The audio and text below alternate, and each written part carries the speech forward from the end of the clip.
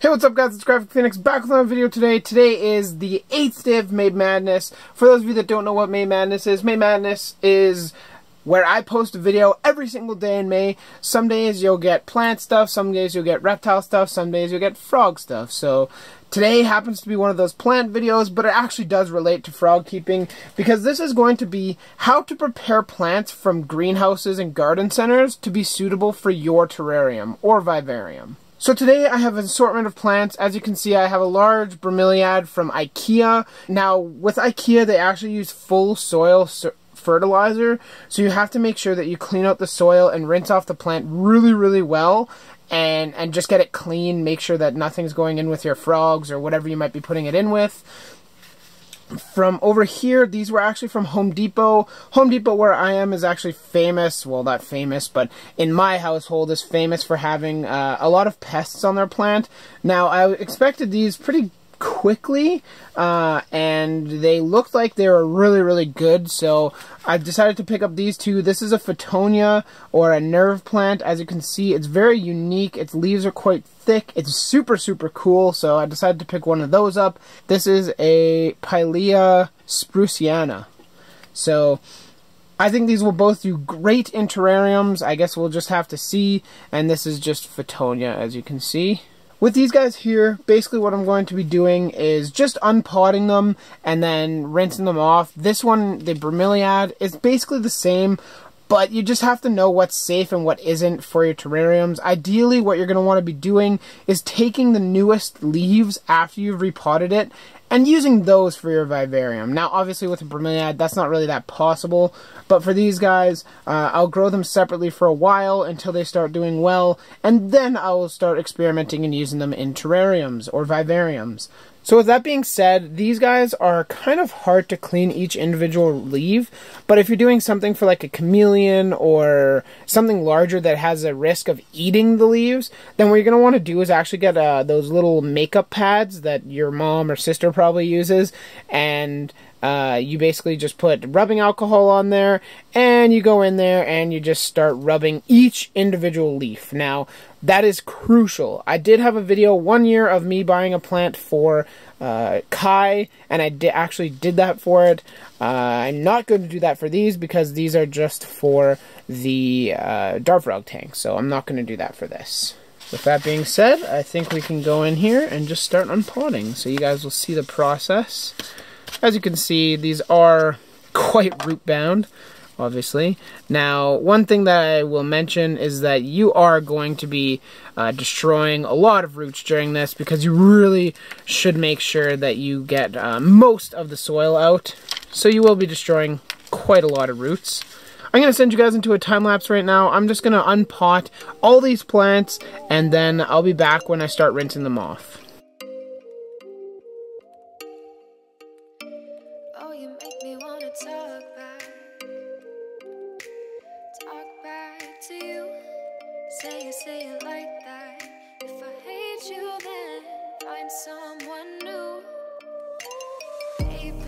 But you know I never will.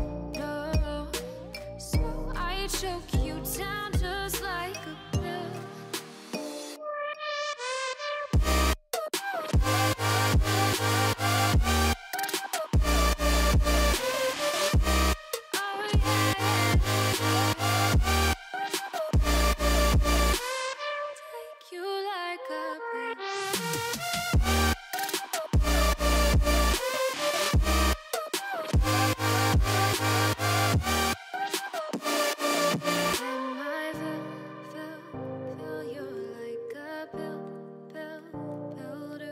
One thing that I'm going to be doing a little bit differently with the bromeliad is actually cutting off all these roots.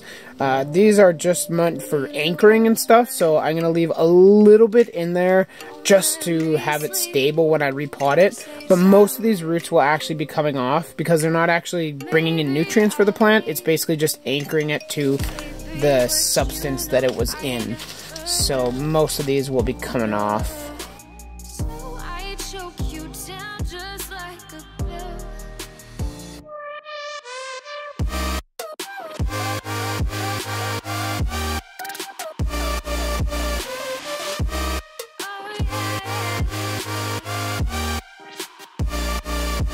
So I'm here at my shower. This is basically where I do all my washing and uh, cleaning of the plants. I'm just gonna spray down their leaves a lot, clean out the root system, and then I'll be ready to set them up for life in my greenhouse tank.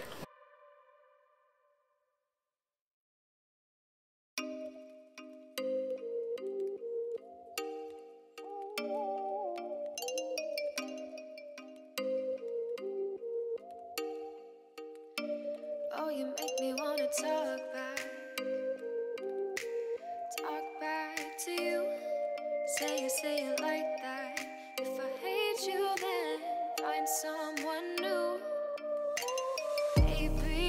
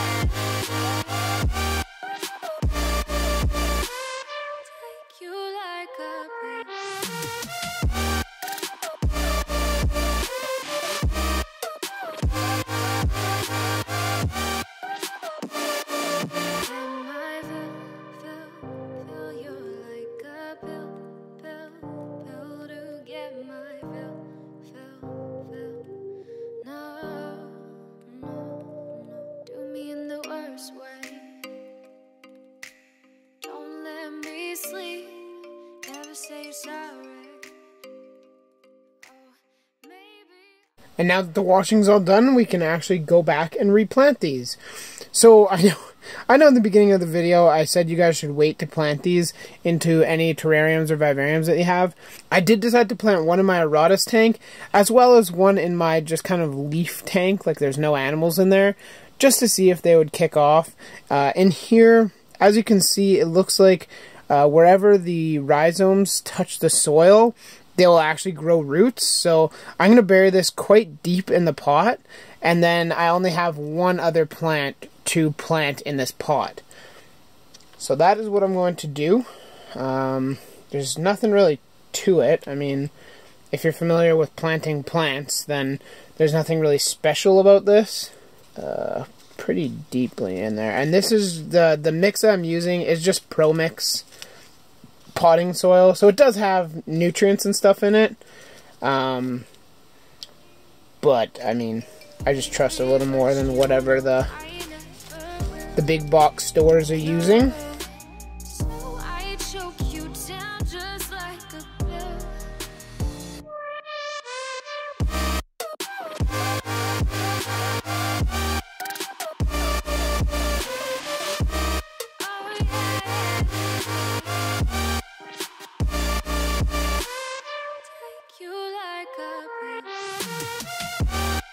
And boom! So that's repotting these guys here. It's nothing special. I mean, it's just repotting any tropical plant that you may be repotting. Uh, I will do... So bromeliad that I have, obviously, is absolutely massive. I'm just going to be showing you kind of the root system. But basically, I'm planting it in orchid mix because it is... Uh, bromeliads are epiphytic, so uh, they do not actually grow... Well, most bromeliads don't actually grow in soil. Instead, they grow in like bark and stuff like that, or on trees. So, what I'm going to be doing is basically just planting it in a pot with orchid bark because that makes the most sense. And there you have it. Super simple. I know that probably wasn't in focus at all that whole time. But you can see here, it is potted up. It's nice and sturdy. You can push it in pretty tightly because um, the roots are quite fine on these, so I'm not too worried about uh, like large, thick orchid roots might not be great for it. But I push those in pretty tight. You can see there. It is a beautiful bromeliad. I'm super excited to have this one in here. With that being said, everybody, I know it was kind of a a weird or shorter video, but I did have a couple people looking, uh, kind of asking me how do I do this because I don't really know how to clean plants for dart frog vivariums. So I figured that I'd film this episode for you today. I hope you guys enjoyed. If you have any questions, comments, concerns, leave it in the comment section down below. If you like the video, drop a like down below. If you want to see more videos for May Madness, definitely subscribe to my channel. If you have any video suggestions, definitely leave them in the comment section. I want to thank you guys all for watching. Graphic Phoenix, out of here.